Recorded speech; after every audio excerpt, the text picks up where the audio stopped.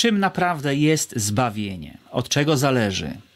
Kto może powiedzieć o sobie, że jest zbawiony? Na te pytania i wiele innych usłyszysz odpowiedź w dzisiejszej rozmowie z dr Magdaleną Jóźwik, teologiem dogmatycznym z Archidiecezjalnego Centrum Formacji Pastoralnej w Katowicach. Zapraszam.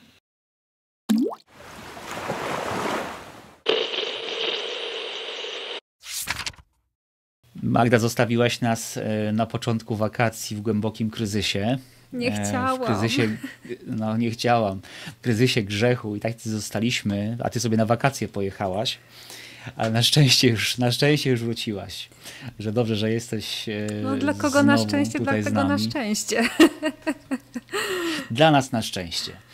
Dobrze. E, skończyliśmy na, skończyliśmy na kryzysie, na kryzysie grzechu. Mhm na tym, że jest to taki kryzys, z którym sobie za bardzo poradzić e, nie umiemy. Znaczy nie mamy za bardzo narzędzi do tego, żeby sobie z tym, z tym poradzić. Ci, którzy nie pamiętają już albo jeszcze nie obejrzeli e, naszej poprzedniej rozmowy, czy naszych poprzednich rozmów, e, w opisie do tej dzisiejszej oczywiście znajdziecie odpowiednie linki. Ok, mamy kryzys, mamy problem grzechu, domyślam się, że większość tych, którzy nas oglądają, wiedzą, że rozwiązaniem tego kryzysu jest Jezus, tak? Ok, co to znaczy? I to jest pytanie. Co to znaczy, że Jezus jest rozwiązaniem naszego problemu grzechu? Bo to łatwo powiedzieć, ale teraz jaka, jaka kryje się za tym, e, za tym treść? E, myślę, że mm, powinniśmy zacząć od y, kroku wstecz czyli jeszcze mhm. od y, kwestii, dlaczego my sobie nie potrafimy poradzić z grzechem. Dlaczego Jezus jest koniecznym tym mhm. rozwiązaniem. E, tutaj w teologii pojawiały się różne... Te... Przepraszam, mhm. czy w ogóle jest koniecznym? Bo my tak jesteśmy nauczeni, że to Jezus, Jezus, Jezus zbawia, a może się okazać, że wcale nie. E, tak, mm, w sensie mm, możemy tutaj, e, myślę, że możemy sobie po prostu zadać to pytanie, to jest, mhm. to jest chyba tutaj o tyle, e, to jest chyba tutaj istotne. E, natomiast myślę, że musimy sobie popatrzeć e, trochę wstecz i zrobić taki krok do tyłu i popatrzeć sobie na historię Starego Testamentu, a właściwie na postacie ze Starego Testamentu, mhm. które nam pokazują różne pomysły człowieka na to, jak poradzić sobie z grzechem jak poradzić sobie ze słabością.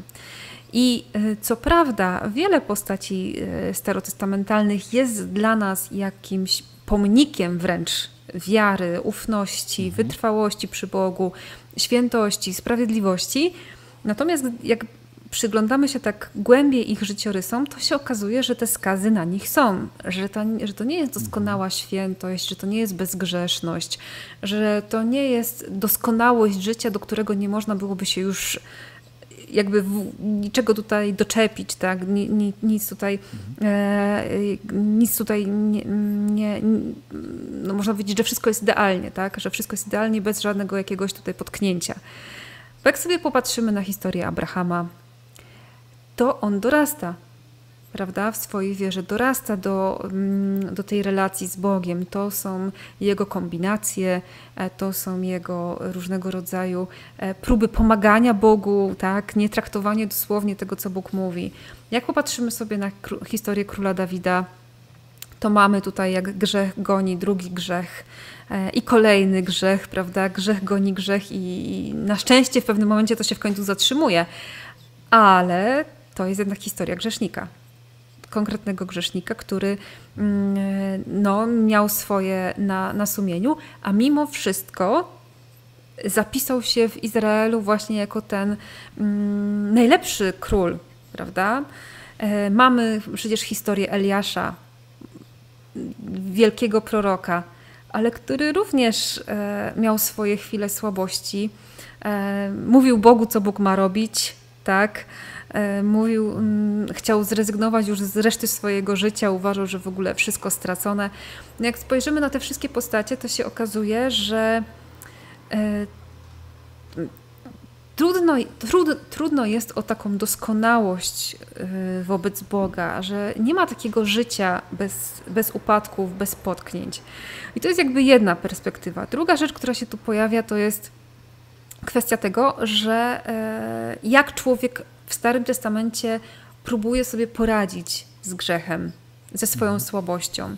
Próbuje sobie poradzić na przykład przez składanie ofiar próbuję sobie mhm. poradzić, znaczy no, przez składanie ofiar to trochę tak e, uprościłam to, bo bardziej tutaj chodzi o to, że przez cały ten kult próbuję tą przepaść między Bogiem a człowiekiem e, zasypywać.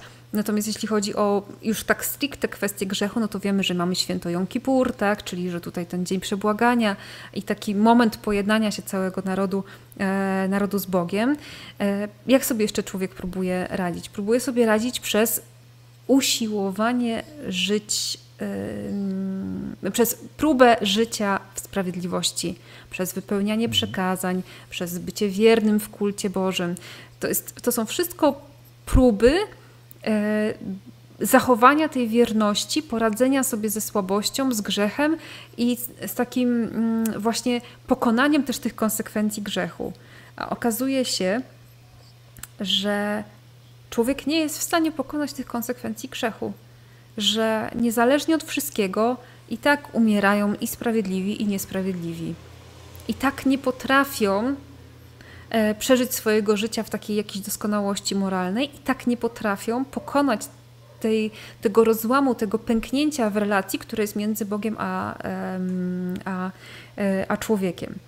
E, I tutaj mm, w teologii pojawiało się kilka różnych takich teorii, które mówiły o tym, dlaczego człowiek nie był w stanie pokonać tego, mm, tego pęknięcia, tego, tej, tej, tego rozłamu. Natomiast niezależnie od tego, jaka jest ta odpowiedź, bo to nie są odpowiedzi zdogmatyzowane, to są raczej odpowiedzi, które pokazują jakąś możliwą, możliwą teorię. Niezależnie od tego okazuje się, że całe Pismo Święte nam mówi o tym, że choćbyś nie wiem, jak się starał człowieku, sam sobie nie poradzisz.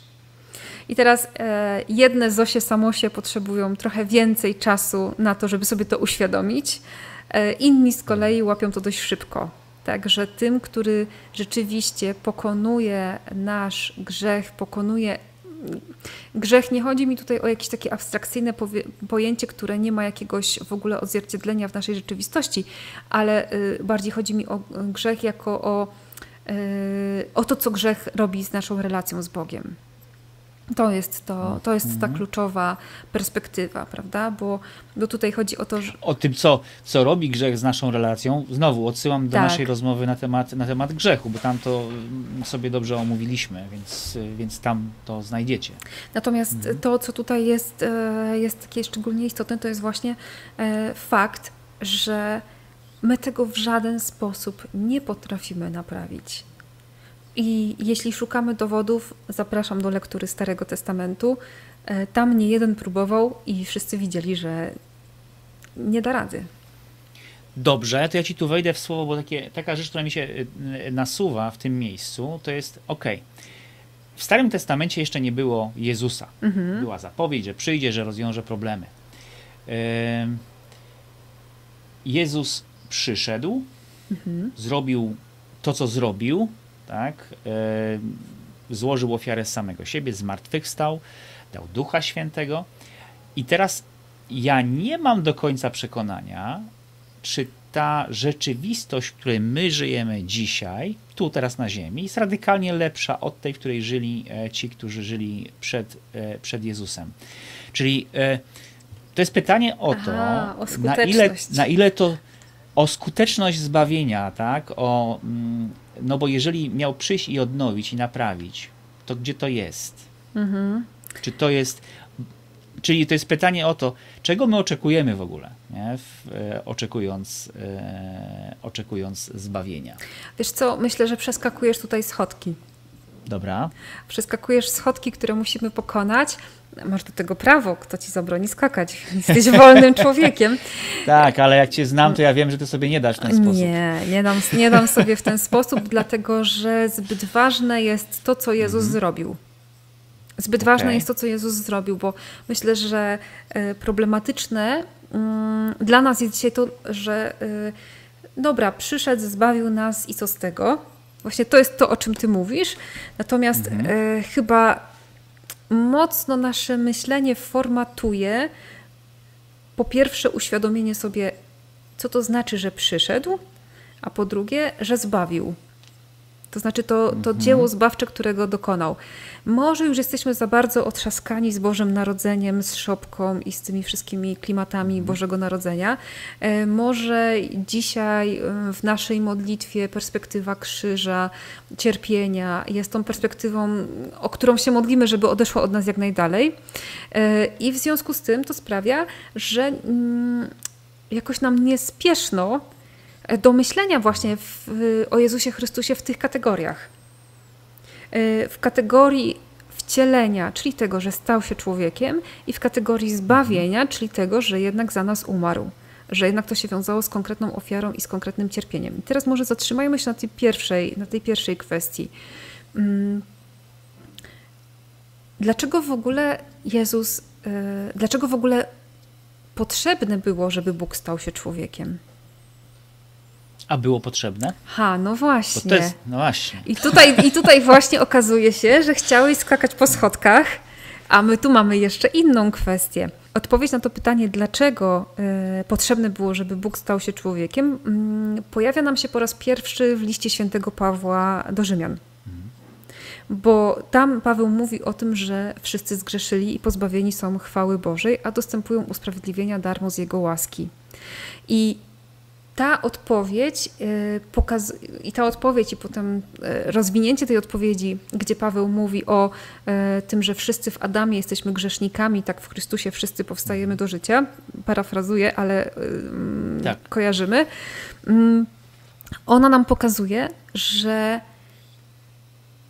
jeśli grzech się rozprzestrzenił na mocy jedności natury ludzkiej, tak, jedności, e, jedności natury ludzkiej. To znaczy. E, Czyli to, co Paweł mówił o tym, e, że od, Ada, od Adama. Tak, tak? od że Adama. To... Tak, tak, mhm. tak, od Adama. Okay. No bo w, w, pewnym sensie moglibyśmy sobie zadać to pytanie, wybacz dygresję, dlaczego grzech Adama dotknął mnie? Ja nie chciałem. No to jest zasadne pytanie. Ja nie chciałem. Dlaczego? Co ja mam z tym wspólnego? Co ja mam z tym wspólnego, z tym panem w raju, który po prostu nie potrafił tak. zapanować nad swoją kobietą, tak można by powiedzieć, prawda? E, natomiast y, y, odpowiedź nam przynosi też Pismo Święte, ponieważ w Księdze Rodzaju mamy powiedziane, że e, kiedy rodzą się potomkowie Adama, e, oni rodzą się na obraz i na podobieństwo Czyli Adam przekazuje to podobieństwo i ten obraz Boży, i to i właśnie przekazując, przekazuje to, w jakim stanie on sam jest. I na tej podstawie mówimy o y, rozprzestrzenianiu się e, natury obciążonej, natury ludzkiej, obciążonej, mm, obciążonej tym stanem grzechu, tym stanem upadku. Okay? No bo Adam był powołany do tego, żeby przekazywać, więc przekazuje to, co ma w takim stanie, w jakim to zachował. No to coś, coś w rodzaju choroby genetycznej, tak? Tak, można to porównać do choroby genetycznej, mhm. można to porównać do y, spadku, który dostajemy po naszych mhm. przodkach. On jest w lepszym albo w gorszym stanie prawda? Ten spadek, który dostajemy. Jeśli nasi przodkowie chwilę przed śmiercią zrobili remont, no to jest całkiem niezły. Ale jak nie, jak nie zrobili remontu, to mamy ruderkę, prawda? Dziedziczymy w spadku. I mniej więcej tak to, tak to podobnie wygląda z tym przekazywaniem e, natury. Jeżeli Adam przekazuje naturę obciążoną stanem nieprzyjaźni z Bogiem, czyli stanem grzechu, stanem upadku, no to teraz yy, w tym stanie rodzą się wszyscy kolejni jeśli wszyscy kolejni rodzą się w tym stanie, to żeby to dotknęło wszystkich, tak, to potrzebne jest, żeby Bóg stał się człowiekiem, żeby przez tą jedność z naturą ludzką, z, nasz, z nami, pokonać mhm. tą spiralę, pokonać te, to przekazywanie, pokonać to, ten proces e, przekazywania. Mhm. Coś czuję, że w Twojej głowie jest pytanie. Wiesz co, to jest dużo pytań, ale pytanie jest, wiesz, e, takie dość fundamentalne. Okay. Znaczy, e, czym jest zbawienie? Mhm. Bo w takim popularnym ujęciu e, zbawienie to jest jakaś forma, rodzaj biletu do nieba. Znaczy, że Jezus zrobił coś takiego, co powoduje, że ja tutaj na ziemi mam szansę pójść do nieba, a nie do piekła. Tak. Bo gdyby nie to, to i tak bym poszedł do piekła. Bo każdy zgrzeszył, więc, więc wszyscy mają przerąbane i, w, i nie ma takiej szansy, żeby się e, z tego grzechu samemu oczyścić. Tak? Hinduiści to sobie wymyślili w, przez to, że przez, przez te kolejne wcielenia się jakoś tam oczyszczają mm. i tak dalej. No my tego nie mamy, więc, e, więc po prostu lądujemy wszyscy e, w piekle Właśnie i to jest zbawienie. Stój, stój, tak? stój, nie w piekle. Mhm. Bo przed Chrystusem nie było piekła. Jak nie było piekła? nie było. No to, to, to, jak to nie było piekła przed Jezusem? Nie było piekła przed... To chyba lepiej było przed Jezusem, jak nie było piekła, a teraz jest piekło. Nie było piekła, ale znowu wróć sobie do Starego Testamentu. O czym oni no. tam mówią? Że gdzie umarli idą? No tak, do, do, do Szeolu, otchłani, do otchłani. Tak, do Szeolu. Mhm. I można powiedzieć, że ten, ten Szeol, ta, ta otchłań, to nie jest stan piekła, mhm. tego, jak my je rozumiemy po katolicku. Szeol, otchłań to był stan, można powiedzieć, poczekalnia, magazyn, magazyn na zmarłych. Tak, oni czekali. I to bardziej przypominało, jak nie wiem, Poczekalnie. czy gdzieś jakieś tam takie, gdzieś te duchy się snują gdzieś po jakichś mokradłach. Znaczy czy... one się raczej nie, nie chodzi o to, że one się snuły. Za taki obrazek, ale, ale... Nie chodzi o to, że one się... Ale takie nie wiadomo gdzie, tak? Takie pośrodku, Wiesz takie co, chodzi, Bardziej chyba chodzi o to, że to jest właśnie taki hmm. moment czekania, tak? Czekania na, bo, hmm. ym, na czekania na Zbawiciela, bo przecież my wiemy, że Zbawiciel zaraz po grzechu został obiecany. Mhm. Prawda? Zaraz po upadku jest opowieść o tym, że e, przyjdzie potomstwo, które pokona e, tutaj e, szatana i pokona, pokona ten, jego, ten jego plan na rzeczywistość. Mhm. Natomiast więc Szeol jest czekaniem na ten moment. Na ten moment, kiedy przyjdzie, kiedy przyjdzie Zbawiciel. I teraz kluczowe jest właśnie to, że Jezus Chrystus przychodzi, staje się człowiekiem i staje się człowiekiem mhm. e, który jest bez grzechu, prawda? Bo jest do nas podobny we wszystkim oprócz mhm. grzechu. Natomiast jest człowiekiem, który przyjmuje na siebie konsekwencje naszego grzechu, czyli cierpi i umiera. Mhm. I po co było to, żeby Jezus umarł? No, żeby właśnie wszedł do tego szeolu. Żeby tych sprawiedliwych doprowadził, wyciągnął z, z mhm. tego szeolu i doprowadził do jedności z Ojcem. Przepraszam, bo ja tylko jeszcze tutaj wrócę, bo e, co się działo w takim razie z tymi, którzy przed Jezusem, z łajdakami, którzy e, zmarli przed Jezusem? Jeżeli nie było piekła, to oni w tym samym miejscu wylądowali co sprawiedliwi? Tak, bo piekło dopiero jest po, e, po, po wstąpieniu Chrystusa do otchłani. Wtedy, kiedy Jezus wstępuje do otchłani, mhm. to co się dokonuje? Dokonuje się pierwszy sąd, prawda? Dokonuje się pierwszy sąd, czyli ci, którzy chcą odpowiedzieć na y, i odpowiadali swoim życiem na tą relację z Bogiem, na, na, to, na to Boże wezwanie, oni, można powiedzieć, łapią Jezusa za rękę i idą z nim do nieba, tak, do jedności z mhm. Ojcem.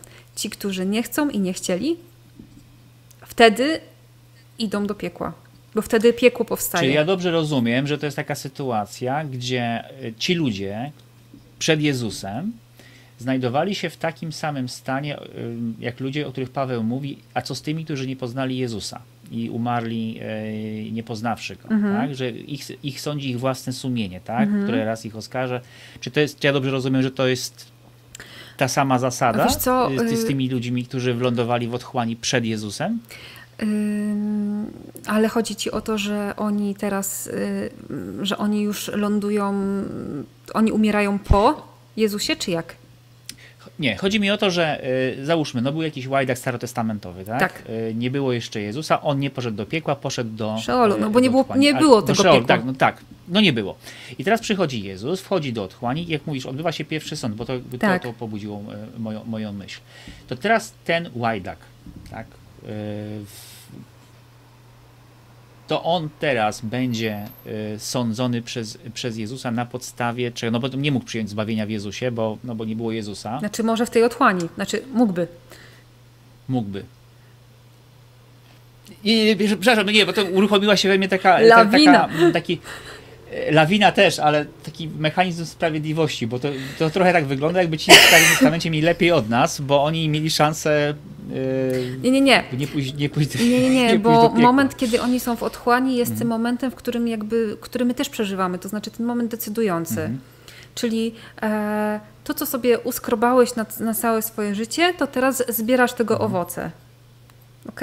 Czyli jak byłeś sprawiedliwy, to się chwytasz i mhm. idziesz do nieba. Jak byłeś niesprawiedliwy, no to zostaniesz w tym, mhm. Y, no to przechodzisz do piekła, można tak powiedzieć. Oczywiście to są kategorie tak. przestrzenne, które nie pasują do tej, do tej, do tej całej opowieści, mhm. ale nie mamy innych, więc się nimi posłużymy. Dobra? Mhm. Więc jeśli, jeśli e, nie, nie żyłeś zgodnie z wolą Bożą, nie żyłeś zgodnie z tym Bożym, Bożymi przykazaniami, no to sam dokonywałeś tego wyboru w czasie swojego życia. Mhm. Ta mentalność, że inni mają lepiej i mieli lepiej, to jest takie nasze. To jest, takie, to jest takie nasze. My zawsze patrzymy na to, że inni mają lepiej, a nie patrzymy na to, ile my mamy, prawda? Że mhm. zdecydowanie lepiej jest znać Jezusa, niż go nie znać. Mhm. Zdecydowanie. E, więc y, Jezus przez to, że, że że Syn Boży, że w nim Syn Boży staje się człowiekiem, jednoczy się z każdym z nas, tak? to znaczy z tym naszym doświadczeniem, mhm. z tym naszym doświadczeniem życiowym. Y, I tutaj jest podobny we wszystkim oprócz grzechu, ale przejmuje konsekwencje, tak? Przejmuje konsekwencje, czyli też właśnie podatność na cierpienie, czyli jakieś ograniczenia dotyczące też jego poznawania świata, czy też właśnie um, jakieś doświadczenie pokus, doświadczenie śmierci. To jest wszystko to, co Jezus przejmuje jako konsekwencję naszej upadłej natury i robi to mhm. dla nas, dla naszego zbawienia, po to, e, żeby um, dać nam, e, jakby zbawiać każdy moment naszego życia, tak można by chyba to powiedzieć. To mhm. znaczy, tak mówiąc bardzo prosto, żebyś ty człowieku sobie nie myślał, że Pan Jezus nie wie, jak to jest. Że Jezus nie wie, jak to jest doświadczać pokus, cierpienia, że nie wie, jak to jest płakać, e, że nie wie, jak to jest zmagać się z głodem, czy z jakimiś nawet kwestiami bytowymi, bo przecież sam mówi o sobie, że syn człowieczy nie ma gdzie głowy skłonić, prawda? I mm, może już jesteśmy trochę osłuchani z Ewangelią i jakoś na nas nie robi wrażenia, ale te wszystkie fragmenty nam po prostu potwierdzają realność tego człowieczeństwa. I to ma, mm, to ma na, za zadanie z jednej strony nam uświadamiać, naprawdę stał się taki jak my po to, żeby nas zbawić, czyli właśnie co zrobić? Okazać doskonałe posłuszeństwo Ojcu i w ten sposób tym, tym wszystkim, którzy w Niego uwierzą, udzielić Ducha Świętego, udzielić tej jedności z Bogiem, udzielić mm, udziału też w tym posłuszeństwie, w jego, w jego, w jego posłuszeństwie, w jego wierności wobec, e, wobec Ojca. Natomiast druga rzecz, która za tym idzie, no to jest to, że jednak On jest Bogiem. Bo y, jeżeli się okazuje przez cały Stary Testament, że człowiek choćby nie wiem jak się wściekł, nie jest w stanie pokonać śmierci, nie jest w stanie pokonać cierpienia, nie jest w stanie być do końca wierny Bogu, to się okazuje, że jedyny, jedyną możliwością na to, żebyśmy byli zbawieni, jest to, że zrobi to Bóg. Jest to, że po mhm. prostu sam Bóg nas zbawi i w Jezusie mamy to dwa w jednym. Jest Bogiem, który nas zbawia, czyli przeprowadza ze śmierci do życia, czyli daje nam udział w życiu samego Boga, a z drugiej strony jest tym, który, dzięki któremu to jest możliwe, bo jest człowiekiem jednocześnie, prawda? Bo mhm. jest tym, przez którego e, przez jedność z naszą naturą, z tym, że my jesteśmy ludźmi, to przekazanie e, tego zbawienia no, dokonuje się właśnie też na mocy tej e, jedności z naturą, z naturą ludzką. Wiesz co, dobra, ale ja wciąż jakby szukam gdzieś takiej, tak żeby to w jednym miejscu tak zebrać, to zbawienie, to czym ono naprawdę jest. Bo y, teraz, w tym momencie naszej rozmowy, to ja widzę, że to zbawienie jest jednak pewnym dość szerokim. Mhm. E, ma wiele aspektów, o tak, mhm. e, bo ono dotyka wielu, e, wielu przestrzeni w tym życiu doczesnym i, i w przyszłości, tak? czyli w życiu, w, w życiu wiecznym. Czy ja dobrze rozumiem, że, że to nie jest tylko kwestia właśnie tego biletu do, biletu do nieba. To nie jest tylko kwestia już tu wejścia w relację z Bogiem przez Ducha Świętego, bo to też Jezus zrobił dla nas, tylko tak by to, te wszystkie rzeczy łącznie Czyli jakby zbawienie nie jest punktowe, zbawienie jest e, e, szer mhm. na, na szeroko. Zdecydowanie zbawienie jest bardzo na szeroko, mhm. ponieważ z jednej strony mówimy o czymś, co Bóg dla nas zrobił. Mhm. I tutaj możemy się y, pokusić o pytanie, i teraz ja je zadam, a nie ty. czy, wow. czy, y, czy Bóg zbawił wszystkich ludzi? No właśnie, to jest pytanie. No Czy, na twój chłopski rozum. Chociaż twój to nie jest taki chłopski. chłopski. Na mój robotniczy rozum to e, Bóg zaoferował zbawienie wszystkim ludziom. Jaka, jaki e, unik. I, I nie wszyscy ludzie z tej oferty skorzystali. Czemu się boisz powiedzieć, że Bóg zbawił wszystkich ludzi? Bo to protestanckie takie strasznie. A to, co powiedziałeś... Przepraszam wszystkich protestantów, którzy nas tu oglądają. To był żart taki, naprawdę. No, natomiast bo to, bardzo bo to często, duże uproszczenie. Bo to jest często pytanie, okay. to jest często takie pytanie e, e, protestanckie właśnie, ja to teraz mówię zupełnie serio. E, czy jesteś zbawiony? czy jesteś zbawiony? Mhm. I to jest pytanie, które wprowadza w konfuzję katolików, bo nie wiedzą, co odpowiedzieć na tak postawione pytanie, czy jesteś zbawiony? Nie? Mhm. Bo właśnie, co to znaczy? Nie? Bo my, katolicy, raczej widzimy to w taki sposób, że jest pewien potencjał. Znaczy, ja mogę skorzystać z zbawienia, jeżeli umrę, umrę wyspowiadany. To wtedy będę w. No, będę w skrócie taki przekaz jest, tak. Tak, był przez, przez, przez wiele wieków. E, ja jeszcze się załapałem. No, ja bym powiedziała, zmienia, że on jeszcze bardzo dobrze się trzyma w, w wielu kręgach. Ma, ma dzisiaj nowych, świeżych promotorów, ale zostawmy ten temat. Tak, tak. Nie, nie idźmy w aktualizację i w takie rzeczy, które się dzieją na bieżąco, bo być może tutaj będzie oglądał to nasze nagranie za 5 lat, mhm. czy za 10 i już będzie zupełnie nieaktualne. E, Okej. Okay. E, także dobrze, mam, y, zbiorę się jako katolik na odwagę i powiem tak, Bóg zbawił wszystkich ludzi. Mhm. I drżę, e, kiedy to e, mówię, bo ja oczywiście często sam używam tej formuły, mówię, Bóg cię już zbawił, nie? Mówię do kogoś, nie? Bóg już cię zbawił. A to mimo wszystko jest chyba łatwiej powiedzieć jednej osobie, patrząc jej w oczy, mówić, Bóg już cię zbawił, niż mówić, Bóg zbawił wszystkich ludzi. Teraz myślisz nawet, teraz znowu, nie, nie uniknę tej aktualizacji, bo nagrywamy, kiedy y, na Ukrainie jest wojna. Tak. E, I myślisz o tych łajdactwach, o tych zbrodniach, które tam się odbywają hello, jakie zbawił wszystkich ludzi, nie? Mm. Oni powinni iść do piekła, nie? Ci zbrodniarze. Tak, ale no więc, tak, tak, tak. No. Dobrze, dobrze o tym wszystkim, dobrze o tym mm. wszystkim mówisz, bo y, w stwierdzeniu Bóg zbawił wszystkich mm. ludzi trzeba zawsze powiedzieć, ale nie wszyscy mm. ludzie chcą przyjąć to zbawienie. I tu jest cała odpowiedź na, na naszą, od, myślę, taką wielowiekową mhm. e, mm, konsternację, tak, że zbawił, ale z drugiej strony mamy co mamy i przecież no, nie wygląda ten świat idealnie, prawda? Mhm. Wcale nie widać tego zbawienia, nawet wśród nas, ochrzczonych katolików. No, ile razy widzimy, że nasze życie odbiega, dalekie jest że nasze życie dalekie jest od, od tego Bożego ideału, od tego, co Bóg dla nas zrobił. Mhm. Teraz cały szkopuł w tym rozumieniu zbawienia jest w tym, żeby sobie uświadomić, że e, Bóg, który nas zbawia, to jest po prostu Bóg, który na nowo odbudowuje zerwaną z nami relację. Albo relację, która mhm. była mocno przytkana, relację, która była mocno osłabiona, e, mocno, mocno nadwyrężona, wręcz zerwana w wielu aspektach. Mm, I Bóg Bóg odbudowuje, tak, odbudowuje e, tą relację. E, ojcowie Kościoła porównywali właśnie e, krzyż do mostu, tak, że, że krzyż jest takim mostem pomiędzy nami a Bogiem. No właśnie dlatego, dlatego że ta przepaść, którą, która się wydarzyła w związku z grzechem, została posłuszeństwem Chrystusa pokonana. I teraz każdy, kto w Niego wierzy, mhm. dokończ. Osiągnie zbawienie. Osiągnie zbawienie, tak, tak, tak, Każdy, kto w Niego wierzy, mhm. nie zginie, ale będzie miał życie wieczne. A tak. teraz na czym to polega? Na tym dokładnie, co się działo w Szeolu. Łapiesz Go.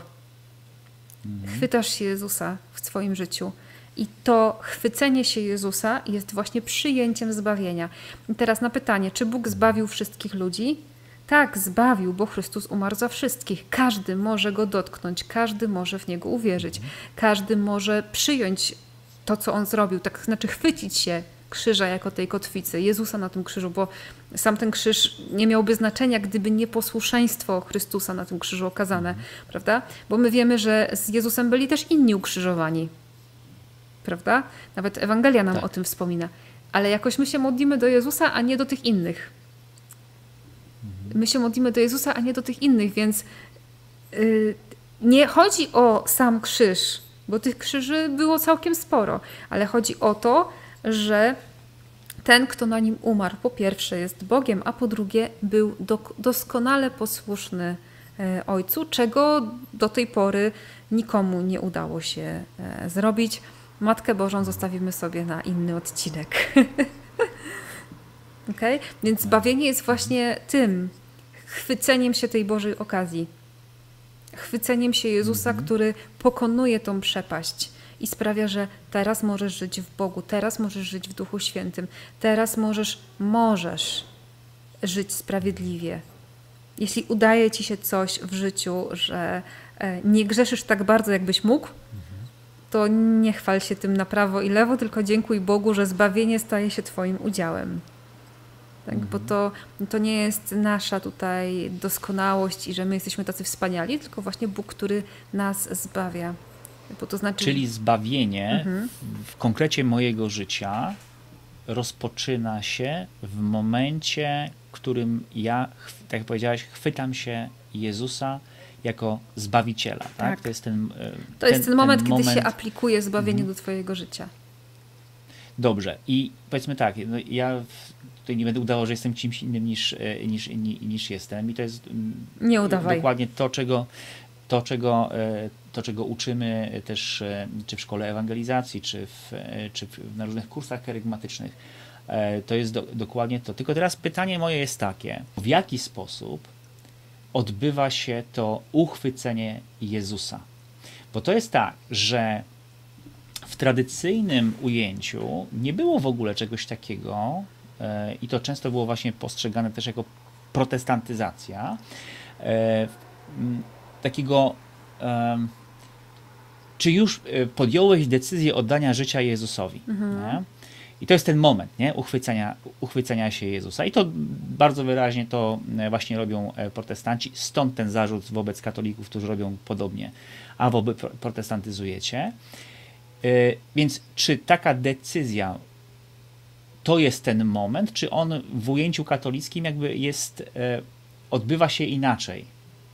E, w innym miejscu, czy w inny, e, i w inny sposób.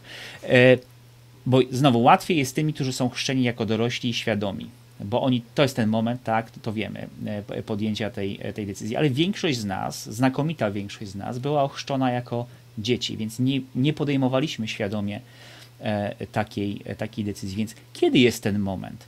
Kiedy zbawienie staje się naszym udziałem. Czego naucza Kościół katolicki w tej sprawie? Wiesz co, ewidentnie, że chrzest jest tym momentem, to jest niezmienne. Mhm.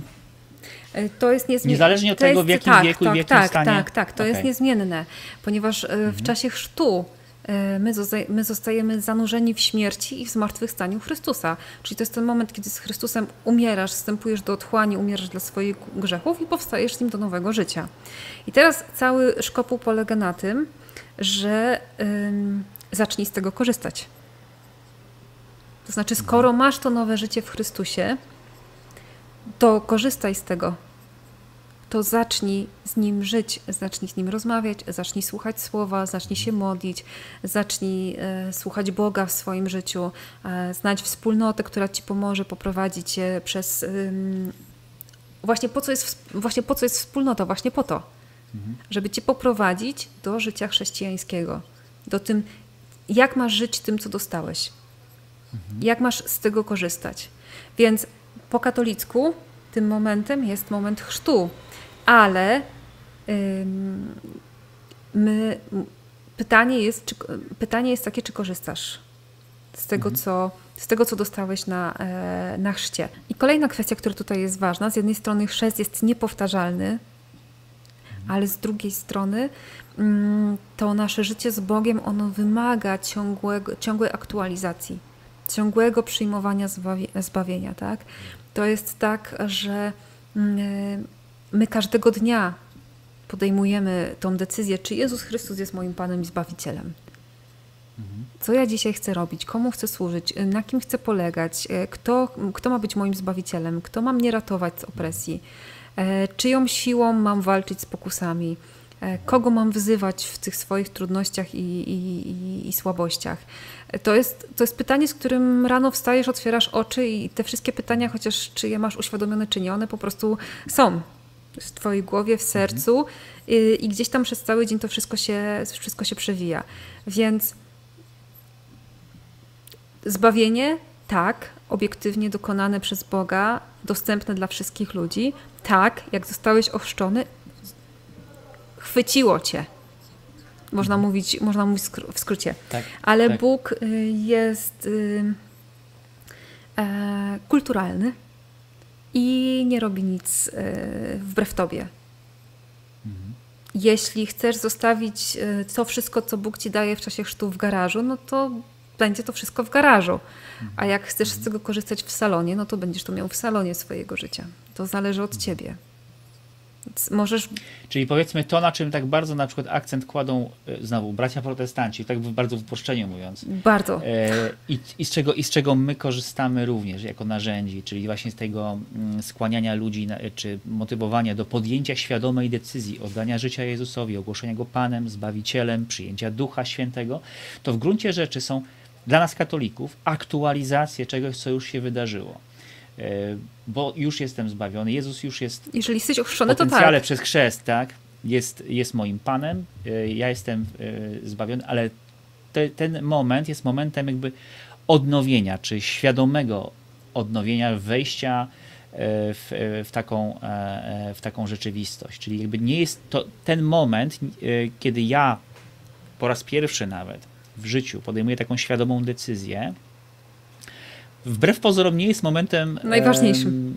E, najważniejszym, tak. bo ten się wydarzył, kiedy byłem ma maleństwem i, i, i, byłem, e, i byłem ochrzczony, ale teraz to zaktualizowałem. Tak? Mhm. Tak? Teraz, te, teraz, teraz jako, jako człowiek świadomy powiedziałem, tak, potwierdzam. Z jednej strony tak, tak a z drugiej strony chyba bym ym, nie, ym, nie deprecjonowała też tych wszystkich momentów katechezy, wychowania mhm. religijnego, tych wszystkich momentów, kiedy jako małe dziecię y, uczyli nas modlitwy, kiedy uczyliśmy się modlić Ojcze Nasz, kiedy uczyliśmy się przestrzegać przykazań, kiedy uczyliśmy się spowiadać i iść do mhm. pierwszej komunii itd., tak itd. Tak mm, nie powiedziałabym, że te momenty nie mają żadnego znaczenia prawda? Że to mhm. dopiero. Nie, absolutnie nie. Dopiero, to, wiesz, to, żeby była jasność, ja nie, też, też nie miałem no, takiej intencji. Że dopiero wiesz, musisz czekać do 18. Nie, to przeskoczyłem tu pewne Że rzeczy. dopiero tak, do 18 tak, musisz tak. czekać, czy tam do jakiegoś takiego mhm. dorosłego życia, żeby powiedzieć Bogu, że ten nie, bo to już wszystko zostało mhm. przygotowane, że to już tymi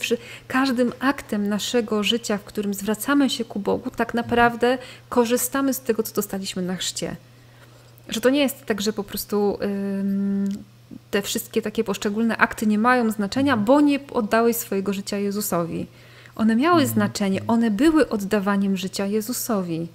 Tylko może robiłeś to bezmyślnie, nie do końca świadomie, e, może nie byłeś już na tym takim, na takim poziomie y, życia, że potrzebowałeś takiego aktu, ale tak naprawdę to może teraz zabrzmi w Twoich uszach herety, heretycko, e, można być zbawionym w sensie po śmierci iść do nieba, jak już mówimy tym, tym, mhm, tym obrazem, nawet bez wyznania Jezusa jako Pana i Zbawiciela. Takiego nie, formalnego. Nie mogę tego słuchać, nie mogę tego słuchać, co teraz mówisz. Tak, myślałam, że nie będziesz mógł tego słuchać, ale mm, bo, bo tutaj chodzi o to, że to jest jakaś forma, tak? To jest jakaś, jakiś mhm. sposób, jakaś forma, której my potrzebujemy, bo człowiek potrzebuje różnych form do wyrażania swojej relacji z Bogiem. Ale to nie jest jedyna forma. Tak? Każdym aktem, kiedy zwracasz się ku Bogu w pewnym sensie, dokonujesz właśnie tego aktu uznania Jezusa jako Pana i Zbawiciela. Okay? Mhm. No, może niekoniecznie jak Bogu złorzeczysz, tak, ale y, we wszystkich innych okolicznościach to jednak jest tak, już jakieś... Mi ktoś kiedyś zwrócił uwagę na fakt, że w gruncie rzeczy, bo to właśnie na kanwie takiej dyskusji o, tej, e, o tym podejmowaniu tej decyzji Jezu, jesteś moim Panem i Zbawicielem, e, ktoś kiedyś zauważył, że hmm, jakby tak dobrze pogrzebać, to trzeba zwrócić uwagę na fakt, że przecież my e, jako katolicy na każdej mszy podczas wypowiadania credo ogłaszamy Jezusa naszym Panem i Zbawicielem, więc e, w zasadzie tylko kwestia, na ile robisz to świadomie, a na ile robisz to bezmyślnie. E, więc ty swoimi ustami to wypowiadasz. Tylko pytanie, czy masz wiarę w tym momencie, kiedy to, to wypowiadasz. Wiesz, to jest, tak, to jest kwestia credo, tego, tego to jest kwestia mhm. znaku krzyża, to jest kwestia modlitwy Ojcze Nasz, to jest kwestia wszystkich tych aktów, które robimy. No i teraz pytanie, na ile tam jest zaangażowane nasze serce, nasze myśli, nasze, my mhm. cali jesteśmy zaangażowani, nie? Więc mm, tak naprawdę, wiesz, możesz modlić się od rana do wieczora i pytanie, czy się modlisz. Mhm, mhm. tak. A możesz się pomodlić pół godziny i i to mhm. będzie właśnie to, nie? Bo pytanie jest, gdzie jest Twoje serce, gdzie jest Twoja otwartość na Boga, w tym chęć i mhm. pragnienie słuchania Go i wypełniania tego w swoim życiu, więc mhm. jakby mam takie wrażenie, że y, chcielibyśmy czasami takiego chrześcijaństwa, które jest takie zero-jedynkowe, że wystarczy robić, no robić tak, tak, tak i tak i już. I już mamy tam wszystko, wszystko zabezpieczone na przyszłość. A to tak nie jest, mhm. bo każdego dnia się opowiadamy za Jezusem albo przeciwko Niemu. Każdego dnia dajemy Bogu tą odpowiedź. I, i, i, i, korzystamy z tego zbawienia, które jest ciągle dla nas dostępne. Nie? To, jest, to jest ciągle pytanie, czy dzisiaj chcesz skorzystać. I pytanie jest o właśnie o dzisiaj. Nie wczoraj, nie jutro, tylko dzisiaj. Czy dzisiaj chcesz skorzystać z zbawienia, które się dokonało? Czyli z jednej strony nie deprecjonujemy takich faktów, e, takich aktów, jak właśnie taka, taka decyzja, nawet na piśmie, nawet podpisana, tak, Jezu, jesteś moim Panem i Zbawicielem od dzisiaj, tak, z, z, tą, e, z tą datą, bo to są ważne akty, które e, wielu ludziom bardzo pomagają mhm. Mm, wystartować, tak, by rozpocząć nowe, nowe życie w Jezusie w, w tym momencie.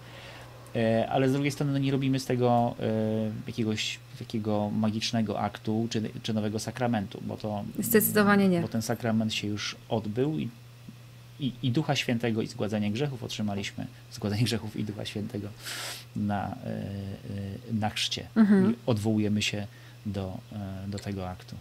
Magda, bardzo Ci dziękuję za dzisiejszą rozmowę. Mam nadzieję, że wielu z Was to, o czym rozmawialiśmy, rozjaśniło e, przynajmniej pewne kwestie dotyczące zbawienia. Mam nadzieję, że rozjaśniło, a nie zaciemniło, nie zawieszało.